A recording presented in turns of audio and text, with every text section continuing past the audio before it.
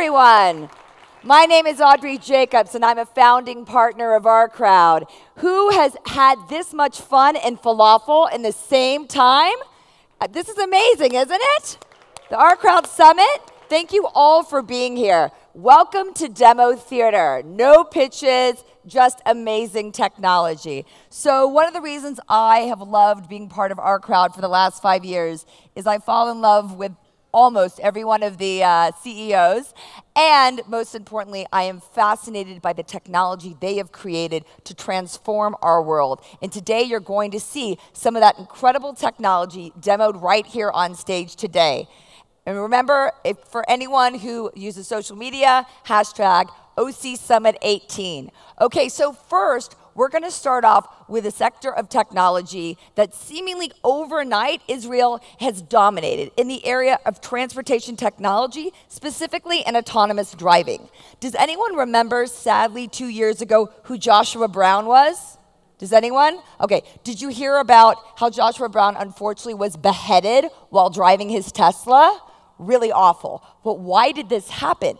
Because the camera on the Tesla could not distinguish between the white sky and the big white truck driving in front of him. He didn't have his hands on the wheel, he was watching a Harry Potter movie, and unfortunately, he was beheaded. So, the solution to that is something called LIDAR technology, which is a method that uses lasers and sensors to actually measure the distance between objects to create a 3D representation of the environment. Now, LIDAR has been very expensive to this date, but there is a company in Israel, Innoviz, that OurCrowd is a proud investor in that is transforming this uh, technology to be affordable and ubiquitous in future autonomous cars. So I'd like to welcome Omer David Keilaf, the CEO and co founder of Innoviz, to demonstrate to us and explain what is LIDAR. Thank you. Hi, thank you. Hi. Does this work? Oh, okay. Hi. So you already know what is a LiDAR. You cut half of my presentation. thank you. Beheading too? Yeah, no, it's time running. So, uh, Innoviz is a startup in, in Israel. We started two years ago to solve one of the biggest challenges in autonomous driving, which is a low-cost, high-performance LiDAR that, as you already know, it's actually used to create 3D sensing of the surrounding of the car. This is an explanation about LiDARs, but you already got one, so we can step to the next slide. Yeah, so today LiDARs, as you can see, the, the, this sad guy is sitting below a very huge uh, LiDAR, very, uh, very, very big, very expensive, and actually not really providing the right performance that is needed. So when we talk with OEMs, they, they say that they want something very simple. They want something that is just 10 times better, 100 times smaller, and just 1,000 times cheaper. What's the problem about that? And and I think this is because this is really a technical, very strong technical challenge. There are many, many groups there that are trying to solve this problem, and I think Innoviz uh, team has come really with the right solution, the right fit of uh, you know providing uh, the right performance, the right price, and also, which is, I think is maybe also very important, uh, the right time. Uh, we are ver- running very, very fast. We only started two years ago, and we already have two partners in the automotive space. We have already a design win with a leading uh, OEM in Europe, uh, which is going to use our LiDARs in their cars. And uh, we're very proud uh, in order to today to show you something that is already working well uh, is going to be used, I hope, soon. So uh, what you see here, it's me. This is, uh, this is the 3 sensing uh, coming out of the LiDAR. Wow, Thank you. my curves never Thank you, looked so Audrey. good. So as you can see, it provides you uh, range measurement. Uh, besides that, we measure range like a regular LiDAR. We actually measure also reflectivity. So uh, we can actually measure the, the lines on the road and uh, see objects and classify them in order to provide understanding of the scene. Um, we can go maybe to, ah, let's do something fun. So I think this is the first time uh, uh, in the world uh, we're going to do uh, the first LiDAR wave. so, uh, uh, Asaf, maybe you can help me. So what we're going to do is we want to do a, a first, a, a, a very fast wave. I think we need to 3D put the lights up in the, in the uh, audience. Great. No need, no need. It. The No? LiDAR can work They don't need dark. it? Oh, lighter in the dark. That's right. Okay, let's make it rain So then. if we have music, so let's let's do like a, very fast wave. Three, two, one, yeah! Wow. right away. Okay, so maybe we can uh, go to the to the videos. Uh, so, Innoviz, as I was saying, uh, we're not only developing the 3D uh, sensing, uh, we also provide some of the application layer on top of it, like uh, SLAM, providing high accurate maps. this, this video, what you see is, is our LiDAR on top of a car. It's not simulation, this is real measurement data. Uh, by capturing the 3D uh, scene and aggregating the pictures and creating those algorithms that match the frames by frame, we can create high definition maps, which is uh, required for autonomous driving, uh, for geofencing driving. Uh, so this is one of the things that we do. Um, maybe we can skip to the, to the next video. Uh, what, we, what we're also doing is actually uh, computer vision. Uh, the program that we've won with the OEM is not only to provide them the LiDAR, we are also uh, providing them the software for uh, understanding the scene. So as you can see, we, we, we, classify the objects, if it's a person, if it's a car. Um, we also classify landmarking. And this is part of what we do. We, we, we design the LiDAR, but also uh, many of the uh, software on top of it. Um, so yeah, Innoviz started as a very, uh, very uh, system company, and we, we're growing very fast, and uh, very happy to be here to present it. Um, Thank you. Maybe Thank we you. can go to the. Wait, yeah. So this is the team. I'm very proud to present them here. Uh, very strong team uh, working on this to try to solve one of the biggest challenges in autonomous, autonomous driving. Thank you, Omer, so much for sharing Innoviz. Thank you. No more beheadings. Okay. Now we're going to move to cybersecurity. And many of you know that Israel has continually led the world in innovation in cybersecurity, primarily because the veterans of the Israeli Defense Force commercialize the intelligence operations they do in the military and commercialize it into the business world. So, one of the areas that you may not know that you're going to learn about today is biometrics. And OurCrowd is proud to have invested now in the three times in a company called BioCatch. And today they're going to demonstrate their secret biometric tricks that they've developed to catch to protect consumers and to catch the bad guys. So I'd like to welcome up to the stage Frances Zelazny and Daniel Shageti from uh, BioCatch to tell us more about what they do and to demonstrate how it works. Hmm. Good afternoon, everyone. We are so excited to be here. BioCatch is a cybersecurity company that delivers behavioral biometrics. How many of you have heard of behavioral biometrics? So, for those of you who have, and those of you who have not, let's try a little exercise right now. Everybody cross your arms. Now try to do it the other way. Seems simple, right? But not so, because that's who you are, and that's what BioCatch does. BioCatch analyzes the way people interact with online applications and devices to distinguish between you and other people and you and other things. Things like malware, robotic activity, social engineering, and remote access attacks. Things that are eroding the trust that we have in our online interactions today. Since 2013, more than 9 billion records have been stolen, making it difficult to tell the difference between a legitimate person and somebody who's using stolen or synthetic identity. BioCatch looks at the way you type, the way you scroll, the way you toggle between fields. And we were founded more than five years ago, and today we monitor more than 5 billion transactions per month, generating significant ROI for all of our customers, like banks, insurance companies, credit card companies, and other online enterprises. Let's see how it works under the hood. All right. Thank cool. you so much, Frances. All right, Daniel, what, what are you going to show us? Okay, cool. So we're going to open up the hood and just show you a little of, uh, of, of, the info, the behavioral data that we actually collect during sessions. So you can all see, right, the iPad. So we're using two sensors over here. Um, we're using the accelerometer and we're using the gyroscope. So this is basically showing you the orientation of the device, right? So when I fool around with it That's like this. That's gyroscope. Yep. Okay. And the orientation and the, gy- the gyro and the accelerometer. Can it So- tell that I always hold it too hard? well, yeah, we're going to show that in a second, right? So everyone holds the device differently, okay? So, for instance, when I watch Game of Thrones on the sofa, then I hold it up like this and stuff like that. But I know other people like, you know, hold it this way and so on.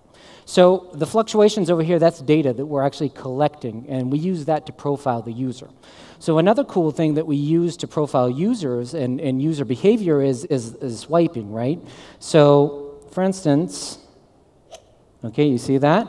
We can actually collect the data and the way people actually swipe the device. So let's try something over here. So this is for companies to be able to determine if people who are using their website or trying to log in are the intended user or a fraudster. Right, right. So once we actually profile the user, and well, we, we don't we need five to ten sessions, right? So once we have five to ten sessions, we have a robust profile, behavioral profile that we can use as it's it's ju- almost just like a, be- uh, a physical biometric, okay? But the only thing is that it's behavior. We're basing it on behavior. Okay, so, when my, my identity gets stolen, which it has, unfortunately, like Oh how many goodness. people's identity has been stolen? Bill- Millions. Eight, I yeah. think it was nine, eight. nine How many, billion? What, Frances? right? No, no, Million? Nine? Yeah. Yeah, nine Yep, million. yeah. So then when someone tries to log on as me, you're going to use these tools to catch Right, them. exactly. Okay, so let's do a quick uh, demo over here. Uh, all right, so Audrey, oh, hold the device. Okay. Okay, so it's a, it's a really simple task. What I, I, I'm going to ask you to do is to drag and drop the ball over here, the, the, the green ball, and drop it on the red one. Okay, Great. uh, the red ball. Oh, yeah, uh, no, no, you're right. Come on. You're right, you're right. you're I'm no gamer here. okay. Am I winning yet? No. No. Hey, where's my points? Ah, look at that. Okay, so let's see the analysis, huh?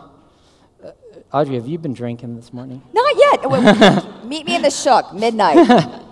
Okay, so what you see over here, the touch up, is that's actually when you, uh, you started swiping. That's, so you have a fairly steady hand over here, but when you actually drop the object over here, so we see fluctuations. So that's one thing that's interesting. So, okay, let's so look at the. This is my biometric profile. Exactly. This is the data that we collected during this session, okay, and during this um, this task. So take a look at that. That's interesting. L- take a look at that hook, and take a look at this one over here. You see that hook at the bottom, um, and take a look at this hook over here.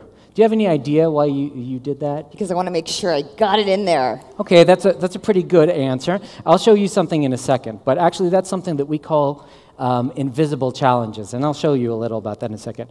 So, I just wanted to show you another profile, what another profile looks like, right? The, the exactly same um, uh, demonstration or, or task.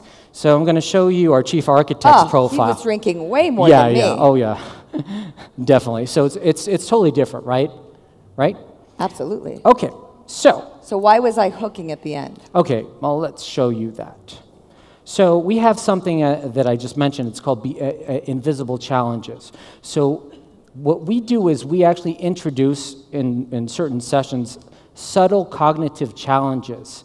Okay, It- you, you didn't feel any anything strange over here, right? No. Right? It wasn't different. No Jedi mind tricks, nothing like that. Okay, cool. So what we actually did is we put a three degree deviation over here. So when you were actually yeah, dragging the, the green ball, then actually we were pulling it three degrees. And what you So did it was moving and I didn't was, know it? You didn't know it. Okay. Because of hand-eye coordination, so what you did is you tried to compensate at the very end, right? So that's why you had those hooks over there. Mm. So we use things like that that are subtle, that are cognitive. You don't feel it. They don't cause any disturbance or any any um, friction during the session, and we see how users respond and their and the way they interact with the device, and we use that for the profile itself. So and I, understand that BioCatch has about 400 different biometrics that you can use to actually build a user profile? Well, on, in, in web applications, we have more than 500. Oh my And when it comes to, dev- to uh, mobile devices, we have more than 2,000. oh my gosh, Yes. amazing. So we're not only good at computer science, we're actually good at detecting and understanding human behavior too. So that's the real trick. And just a final thing I want to show you uh, over here. That was three degrees. That's why you didn't feel anything. Let's say it was 30 degrees. It will look something like this. Oh, wow. Right, you would definitely feel it. But when it's three degrees, it's very subtle, it's a cognitive challenge. That's amazing. So your customers or anyone that needs a username and password for protection to log into a website, but so any customer that has that could use BioCatch, right? Exactly, exactly. Because we run in the background 100% seamless and frictionless, and the end user doesn't feel anything. But we're, they're acting naturally, and we're actually using that to profile them and to, and to build these really robust profiles. Thank you so much, Daniel. Thank you Thank so you. much, Frances. You want to Thanks so much.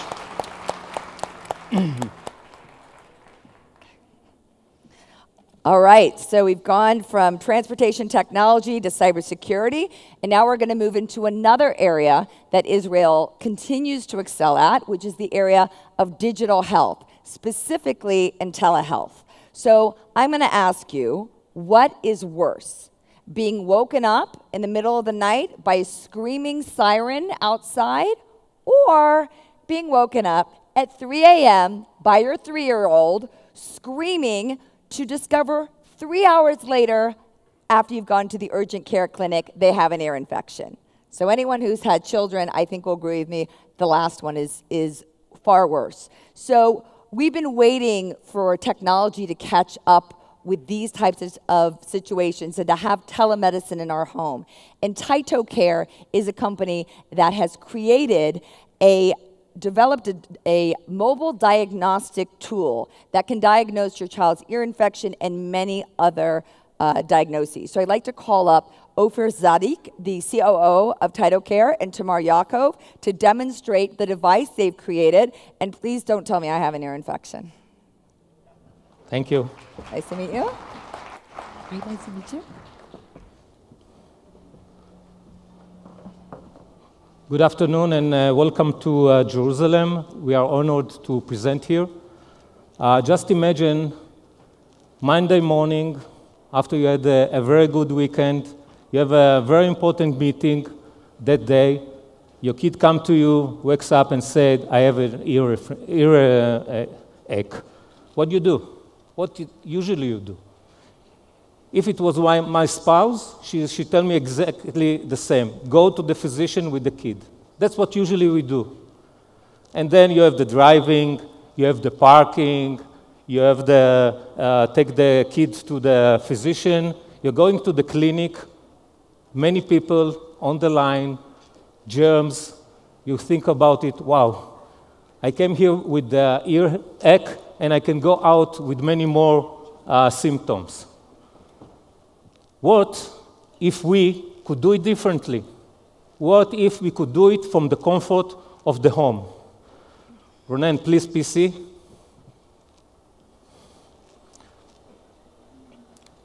Let's show live telehealth the title provide. We provide a device and a platform to do all the taking the reading and the examination at home, doing it online.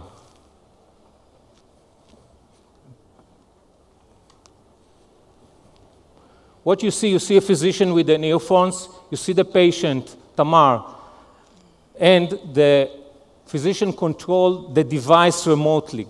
So we are going to check the heart and lung sound, we're going to check the ear, and we are going to check the throat and temperature taking. So now she starts with a heart check, and what you can see now is that the physician online using the earphones, he can listen in high quality. This is FDA clear device, class two, so he can listen it like he is in the clinic, and even better because this is a digital stethoscope. Then he guides her to move and do the ear check. We have a very special design for ear check, not the one that used by physician. And as you can see, you immediately he sees the eardrum. This is a small endoscope, one of the smallest endoscopes de designed by Tyto to provide any consumer to be able to perform this kind of check. Then he looked at the throat. Everything is done in live. And then they can take the temperature. Uh, we have uh, a non-contact uh, temperature taking, and all this is going on our platform to be used by the physician for second opinion or to see trends if there's something changed in that uh, patient. Then you can write down the notes. Thank you. Thank you so no, much. No, thank you, thank you for phase one. Okay. Can, Okay. I, can I ask you, uh, this, let's see, your company, TytoCare, is in our digital health fund and the Qure Fund. And I was looking at your company. How did you, as an early young Israeli startup, get Walgreens already as an investor and a partner?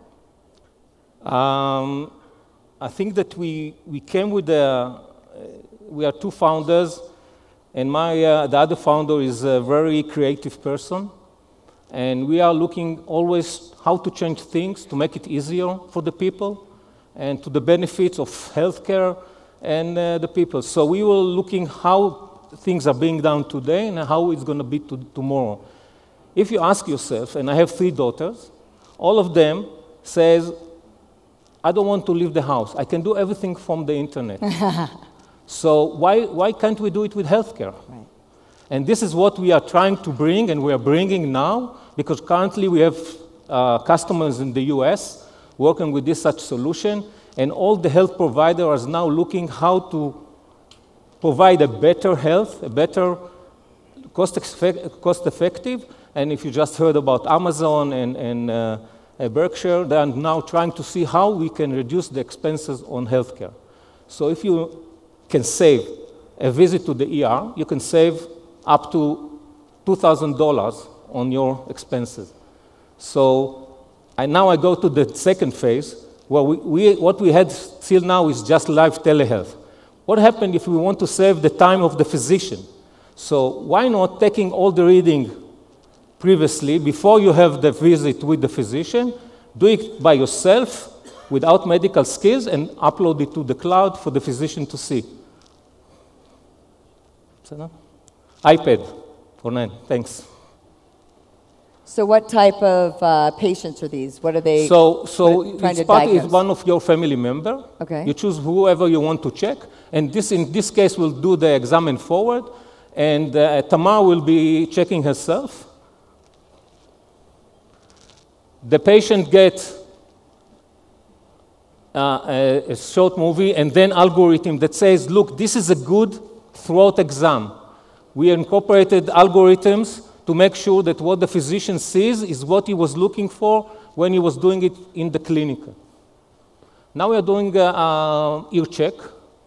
We have a short movie showing what to do. Now she's doing it online. It shows you where to go, and when it recognizes the eardrum, it says V. This is like a missile uh, uh, routing.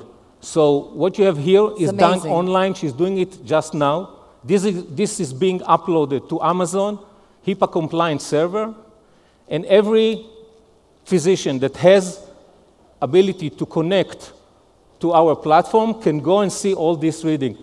PC, online? So, Ofer, this is very important. Has this been approved by Jewish grandmothers? Yeah? I can- Because, because they'll say, your, your machine doesn't work. I, I know better. So, First of all, we empower people because th- now they can see whatever the, the physician sees.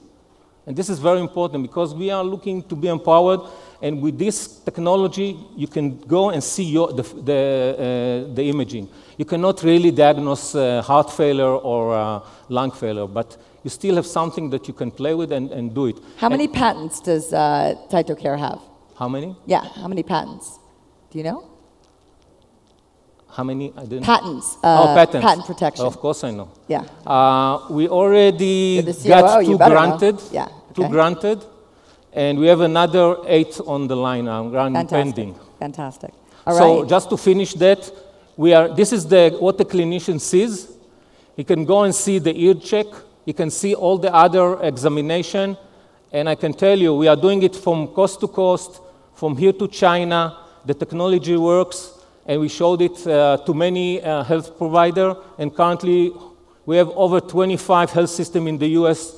working with Tyto solution. Amazing, Ofer. Anyone who wants to bring TytoCare to their community, I encourage you to speak with Ofer and learn how we can transform the future of healthcare together. Thank you so much. Thank you.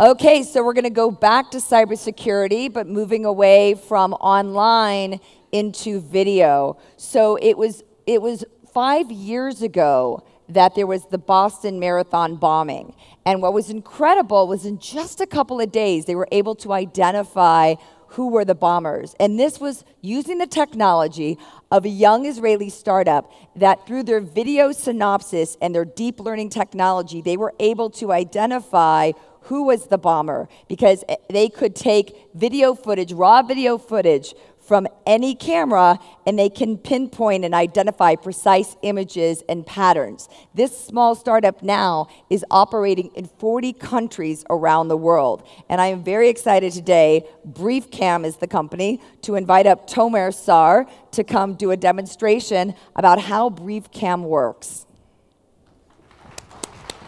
Thank you, Audrey.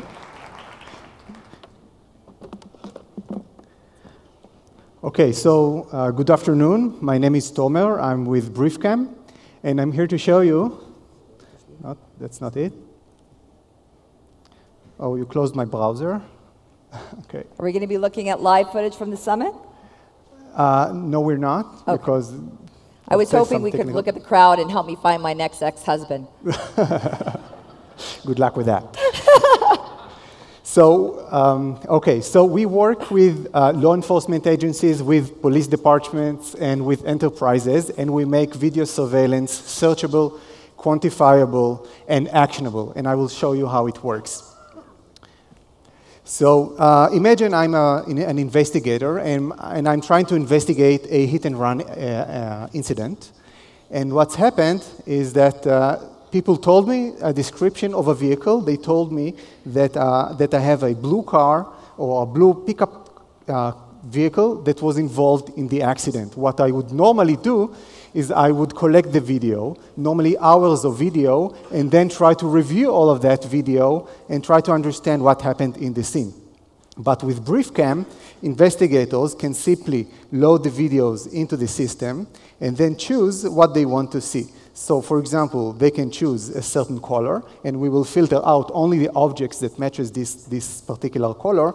And then once they found, they can even further uh, filter down by all of those classes, but particularly now, I will filter down uh, by a pickup truck, and then I found my pickup truck. And then when I want to do that, when I see that, I can see the, the actual close-up clip of that pickup truck in my scene or go to the original video and see what happened exactly, what other objects were in the scene, and then pinpoint the exact time in my investigation where the, where the uh, suspect uh, uh, was.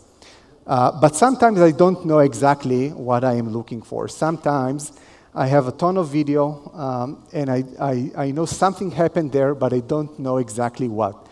What we do is that we extract and separate the different objects from the background and build them in a database together with their classification, and then we can build the video again um, while utilizing the space and time more efficiently. So investigators can review hours of video in minutes and sometimes in seconds. Now, those vehicles here, let me stop that just for a second. Those vehicles were not actually near each other in real life. This one was in 821, uh, 839, etc. Once I only see, once, once I see a vehicle that's uh, of interest, and it's a coincidence that it's the same vehicle from the other demo, then I can go back and see the original scene as it happened in, in real life.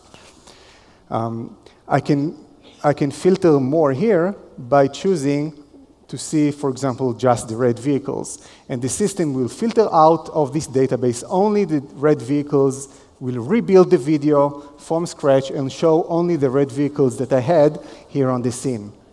I can furthermore filter, not by area, by path, and if I only want to see vehicles who drove in this particular lane and direction, I can also narrow down by that and see only, only the, relevant, uh, the relevant vehicles or, and objects that were here.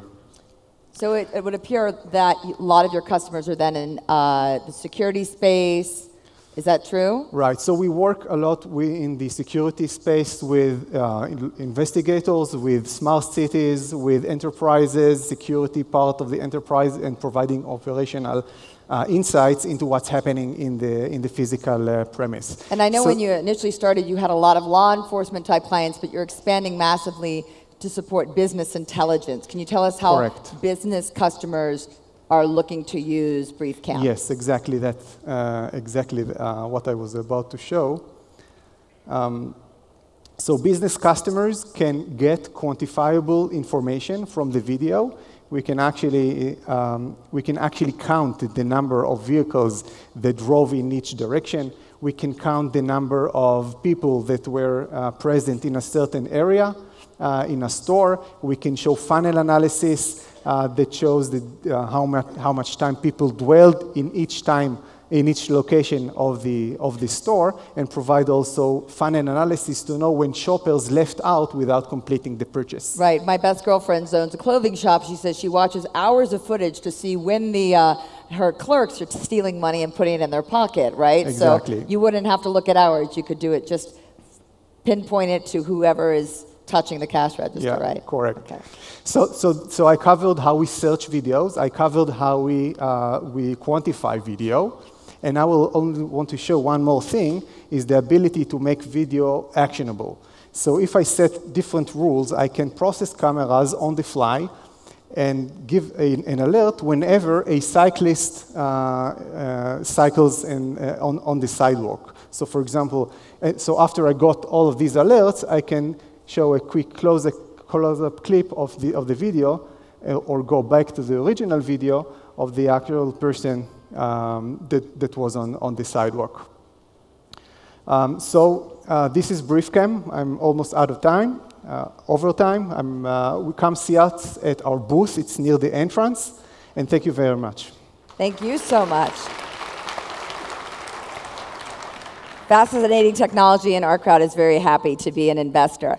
Okay, so now we're moving on to an area that most of you probably did not know Israel has an incredible innovation sector, and that is in space. So, most recently, the US Vice President Mike Pence came to Israel. There's a lot of press around it.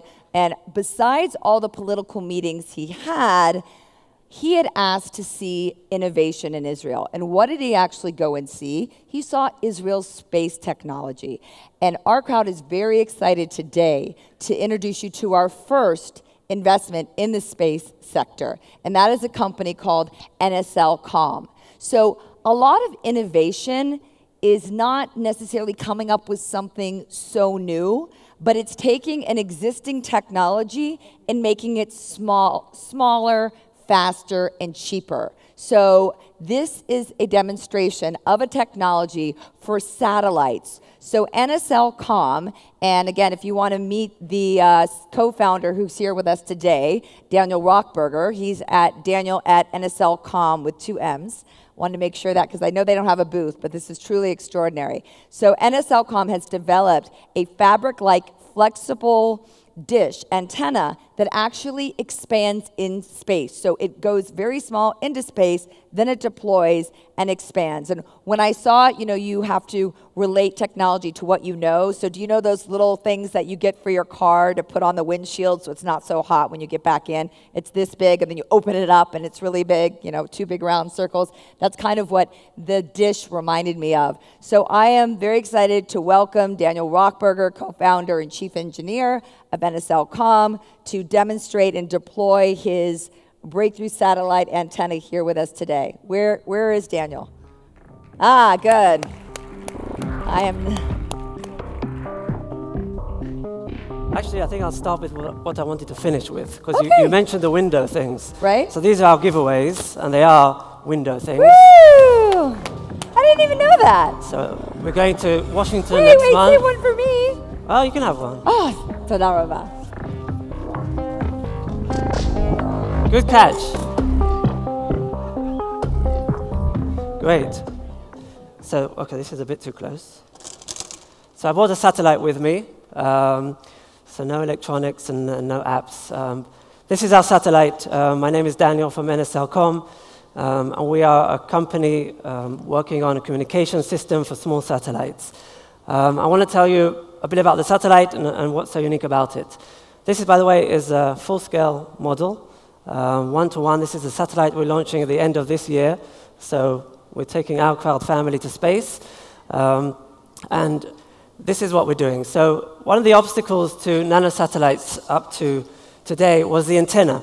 Um, nanosatellites have been toys. They started with universities and students, and now because of the electronics getting smaller, everything is getting amazing. But the main obstacle for these satellites to become real players in the satellite arena was the communication link and the antenna. So up to today, we had kind of tape measure antennas that we used to use, like this, and they could maybe give you a link of about half a megabit per second. Later on, we had some patches, patch antennas, which raised the link to about 100 megabits per second, and even this was with an enormous antenna on the ground. What we're doing is a 1 gigabit per second antenna, and this is about 500 times more than any link from any nanosatellite exists today. This is the same kind of links you get from big communication satellites. But we had a challenge. How do you get such a big dish into such a small satellite? And usually, um, the size of the satellite is the size of the dish. That's the big birds. Um, you have a big dish, you need a big, a a big uh, a satellite like a washing machine. But this is a nanosatellite, there's no room. All the room we had was this little area here. I'll turn it around for you. This is called a 1U, a one unit, 10 by 10 centimeters. That's all we had to get this dish into this um, small volume. So that's what we've been working on. I'll just take some tape off. Um, and of course, this antenna had to be with many, many requirements. It has to be flexible, it has to be able to fold, It has to be able to open up, uh, to an exact shape in space. So it's got shape memory materials called the shape memory polymer, and also has to be space qualified. It's high temperatures in space, low temperatures, vibration, what have you. So this is what I have, a folded antenna. I'll just move this chair away. It's in the same volume that's going to go in the satellite, and more or less, it's going to expand in space and open up like this. So that's what we're doing. And um, this whole system is going to go to space in November and give us one gigabit per second. So you're going to launch this. The first beta launch is going to be in November. Right. Launching from Israel? Launching from uh, probably India, actually. From India. Yes. Okay. Why India? That's one of the best launchers, uh, uh, Indian launcher. Wonderful. Great. Well, this is phenomenal technology. We are so excited uh, for OurCrowd to be investing in NSLComm, and I want to thank Daniel Rockberger for bringing your satellite and sharing it us today, demonstrating how Israel truly is innovating in the space technology sector. Thank you. Okay, we've got one more to go, and then you can eat. All right. So next, there's an, uh, there's so many areas of technology that Israel excels in, and some of the best engineers in the world in the area of 3D printing and technology innovation has come from Israel. So I don't know if any of you have a 3D printer or have had one the last few years. My son, who's 19 now, when he was 15, he was designing and building his own drones. And we had this massive 3D printer. He was designing and 3D printing the parts. And it would take like almost half a day to a day to print these parts. They were so slow. And we've heard so much about 3D printing, but it's not yet ubiquitous, it's not everywhere. The reason, one of the main reasons why is speed. So, this company today, Nexa 3D, has built and deployed globally the world's fastest 3D printer.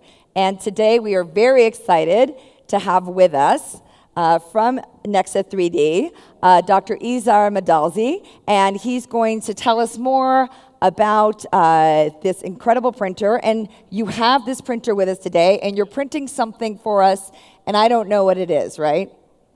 I don't know what it is. Okay, so what? First of all, I've never seen a 3D printer like this. Tell us what is so unique about the Nexa 3D printer. So what you're looking at is the world's fastest 3D printer.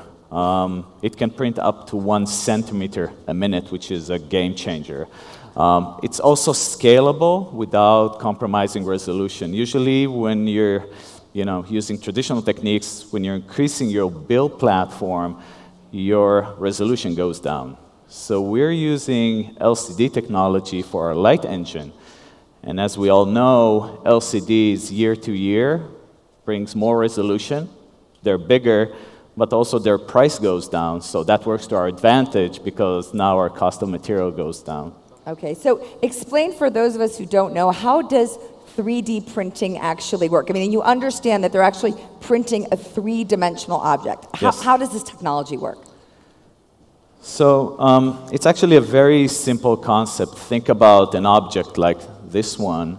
Um, you essentially slice it into slices, um, which each layer can range between 50, 100 microns, 200 microns, depends on the part quality that you would like. After you slice this uh, object, you are essentially projecting a layer by layer image of this of each slice from beneath. And what you're seeing here, we have a vat that is uh, filled with photocurable resin. This resin will cure in the areas where light is being projected on it. So think about it, we're curing one slice, then we're raising the platform, curing another slice, and in, in this step motion, we can essentially create structures that were previously unattainable. Um, you can hear, you can see here one example. There are many examples out there. Uh, you know, using either milling techniques or injected molding techniques. There, today we have access to objects that were never been achieved before. So uh, when it cures, when it's done being printed, can you immediately take it out? Is it as solid as it's going to be, or does it need time to sit? It depends on the material um, and depends on the geometry. Usually, you need some post processing. You know, it can be um, between minutes and an hour to a post cure, and it also depends on the end mechanical properties that you would like. So we're printing, you know, stiff materials. We're also uh, printing materials that have rebound properties. You know, you, they can go into your uh, shoes, um, into different um, engineering objects, uh, and that the, the curing process will depend on that. Okay, so like I said, 3D printing's been around a while. Yeah. So the timing now is now, now finally 2018 when 3D printing's gonna hit, and is it because of Nexus 3D that you guys are gonna transform the world and everybody and every dental office? And tell us again, who and how many people will have 3D printers, what they will be used for, what, why now? Um, so I hope Nexa will be at every office. Um, the market today is $22 billion. Um, Gartner projects that the growth of the industry uh, will be falling about 66%. Uh, but within this industry, there is one segment that grows actually faster than the industry, which is the high speed printers, photopolymer printers. And there is a good reason for that. Who doesn't want to go fast, right? We want faster computers, we want faster cars, and having a faster printer just changes your perception. If we're thinking from, let's take just one example of rapid prototyping. When you're developing an, any, you know, machine, you need to prototype some of the parts in the machine. Um, traditionally, you would send it to a machine shop, you would wait, you know, a couple of days. Usually, if they're very fast, you get the part, you see if it fits or not. If it doesn't fit, you need to do another iteration. Conventional uh, printers would take, you know, overnight. Think about it, you know, the potential of having the part in your hand in minutes, seeing how it fits into the big picture, and then doing the iteration. It's a game changer for, for this instance, for engineers. So can, can consumers buy this? Can dental offices? How, how would they purchase it? This machine is a professional machine. It Okay. costs just shy of $20,000. 20,000? a little out of my budget. Yes. Uh, For my but kids. for what we're seeing here for the complete package, which is high resolution, large build platforms, and very fast speeds, it's the most attractive offering out there. Right. And when it comes to speed, that, like you said, that is very, very important. Exactly. So, what are we we've, done? What Are we we've done printed printing? here for our lovely host is the lattice of a diamond. So you, you Oh! have not just one diamond, but three Yay! diamonds. for you. Someone gave me a diamond. I'm so happy. Thank you very much. Wow, beautiful. Thank you so much. Okay, beautiful. It's stunning. Thank you so much for sharing us the future of 3D printing. We appreciate it, Izhar. So thank you so much for coming to Demo Theater. We enjoyed having you. I hope you've enjoyed seeing some incredible technology today. All of these companies are part of the OurCrowd portfolio. If you want to learn more, come talk to me afterwards. And please enjoy lunch and the rest of the OurCrowd Summit.